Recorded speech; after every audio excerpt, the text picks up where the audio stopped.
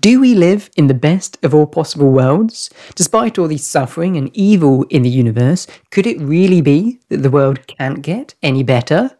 Well, if you're Leibniz, then the answer is a resounding yes. Welcome back to Untangle Philosophy. Today we're exploring how the 17th and 18th century philosopher Leibniz tackled the problem of evil. The problem of evil is the challenge of reconciling the existence of evil with an all loving, omnibenevolent, and all powerful, omnipotent God. If God is both these things, why do we suffer? Wouldn't he, out of love, just remove evil? Responses to this question are known as theodicies. In fact, the term theodicy was coined by Leibniz himself in his 1710 work Theodicee. Oh, uh, not very good at French. Wait, hold on. Here, here we go. Here we go. There. Leibniz's argument goes like this. We can imagine many possible worlds, each slightly different from the next, but since God is good, he must have necessarily created the best of all these possible formulations of worlds. What about all the evil? Well, according to Leibniz, God has twiddled the dials of good and evil to create the optimal balance between the two. That is to say, for it to be possible to experience the amount of pleasure that is available to us, there must be some evil. And the evil in our world is the least amount necessary for the most possible good. As with other theodicies, free will plays a big role here. The best possible world, Aquinas argues, has to contain free will because goodness is only meaningful if we choose it freely. A world in which we were not free to choose evil would not be the best because the value of goodness would be reduced. What's interesting is that Thomas Aquinas, a 13th century philosopher, questioned whether it's even possible to create the best world. He argued that no matter how good a world you envisage, there will always be a better one.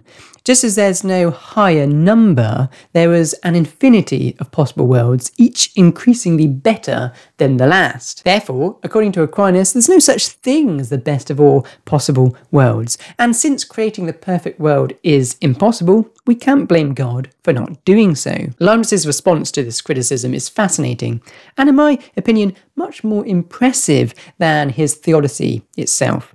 He deploys what's known as the principle of sufficient reason.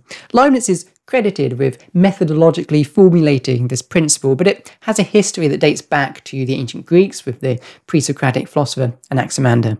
The principle of sufficient reason states that nothing exists without a reason for its being and for being as it is. Aquinas' argument doesn't provide a reason for why one world exists over any other. Why did God create this world and not a slightly better one? And if he had created a slightly better one, why not a better one still? Ad infinitum. Aquinas' position, Leibniz argues, violates the principle of sufficient reason because there is always a stronger reason for creating the next best world. If we follow Aquinas' argument to its logical conclusion, there should be no world at all, because there would never be a sufficient reason for creating one world over another. But is God really bound to this principle? Can he not just create whatever he wants with no reason at all? According to Leibniz, no. If God didn't adhere to the principle of sufficient reason, his decisions would be arbitrary and random. Leibniz's account, on the other hand, satisfies the principle. God created this world because it is the best of all possible worlds, and as a good God, he would necessarily create the best one. But what about the sheer magnitude of suffering in the world? Could God have made a world without horrors like the rape and murder of children? Could he find no way of doing this without compromising the best features of reality? Surely a world without these atrocities would be better than ours. Leibniz responds that evil is part of a larger good that we can't fully grasp. We don't understand how all the evils in the world fit together with the good, so we can't say for certain that removing evil would make the world better. The 18th century philosopher Voltaire enjoyed ridiculing Leibniz for his theodicy, especially in his satirical work Candide, or wait, hold on. Candide. But also in a collection of philosophical reflections called the Pocket Philosophical Dictionary. That's the English title.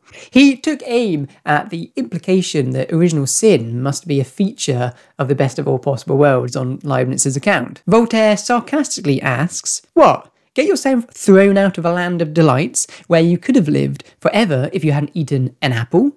What? Give birth in poverty to wretched children who will suffer everything and make others suffer everything too? What? Catch every disease, feel every sorrow, die in pain, and to cap it all, burn for ever and ever.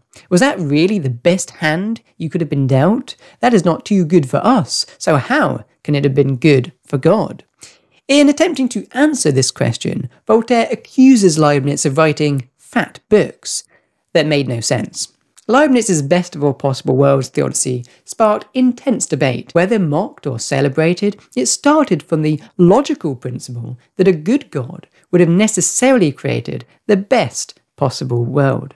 Any evils that we can't explain simply reflect our ignorance as mere mortals with feeble understanding. What do you think of Leibniz's theodicy? Is it a convincing response to the problem of evil, or is Voltaire right to poke fun at it? Let me know in the comments.